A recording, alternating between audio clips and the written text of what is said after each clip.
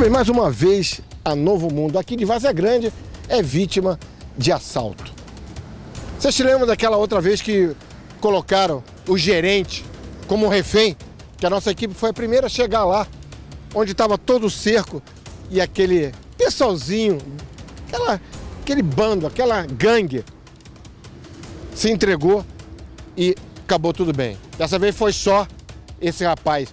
Ele, Velton Santos da Silva, de 26 anos, com várias, várias passagens criminais. Lá no fundo vocês estão vendo a equipe do 4 Batalhão Motorizada que correu atrás desse bandido.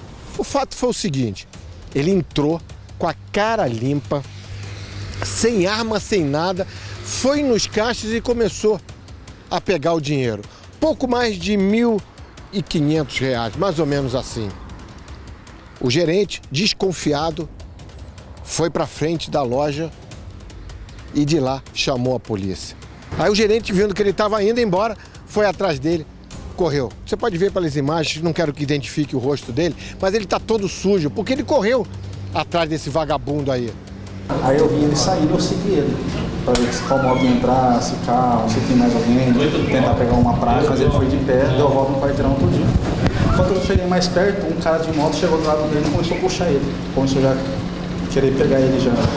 Isso. Pra subir na moto? Não, pra tentar impedir ele de fugir. Ah, entendi. Então, o cidadão mesmo que estava aqui viu, aconteceu tudinho, e chegou lá dentro, começou a querer puxar ele pra tentar abordar ele. Aí eu falei, não tá errado, eu cheguei mais perto. Quando a coisa dele, quando eu tentei dar um golpe nele, passei reto e caiu. Ele é risco, cara.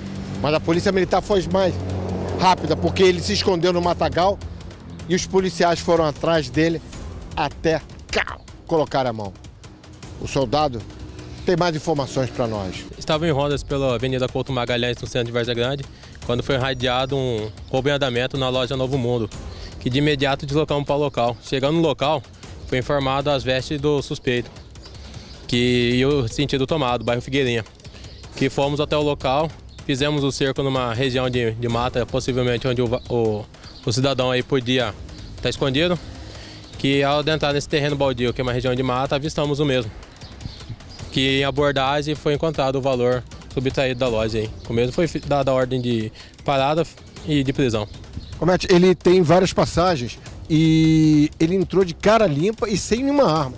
Positivo, aí, entrou de cara limpa e quando nós estávamos fazendo o boletim de ocorrência aí, foi informado que na loja Novo Mundo aí da 13 de junho foi enviado um vídeo aí de um, de um roubo que teve ontem lá também na data de ontem que foi enviada a foto dele por aplicativo de WhatsApp para o gerente da loja, que foi reconhecido pelo mesmo. E então ele já roubou uma loja Novo Mundo ontem, não satisfeito, roubou uma outra hoje. Diante disso, eu fui conversar com ele, com ele Velto.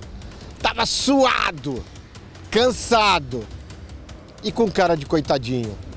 Ele chegou a conversar comigo antes de eu colocar o microfone para falar com ele, mas ele, mais uma vez, falou nada com nada. Isso mesmo para se defender. O pessoal acha que falando as besteiras que ele falou aí, vai se defender. Mas imagens concretas da câmera de segurança mostram que ele está sondando, está rondando as lojas Novo Mundo para mais um roubo. Essas câmeras ajudaram os policiais a identificar esse bandido. E ele já viu, né? Aquilo que eu sempre falo. Olha só o papo dele pra cima de mim. Só quero que você confirme comigo aquele vídeo, aquela câmera de segurança que filmou você fazendo o assalto. E daí?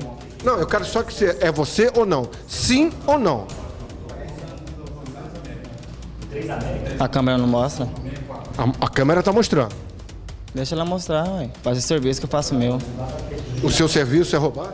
Não. Qual que é o seu serviço então? Somos criados pela uma lei dos iluminados. Lei de? Iluminados, um Tá. protege o outro. Pois é. Vamos começar com o prefeito, deputado, governador. Ah. E o que, que tem eles a ver com esse assalto? Presidente. O que, que ele tem a ver com esse assalto? Você já tem um monte de passagens. Isso por quer dizer o aqui. quê? Não, não.